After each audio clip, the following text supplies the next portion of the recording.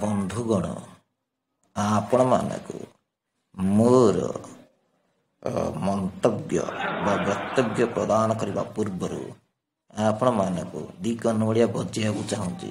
ଆପଣମାନେ ଦୟାକରି ଗାଲ ଫାଲ ଦେଖେଇବେ କି? କୁହନ୍ତୁ।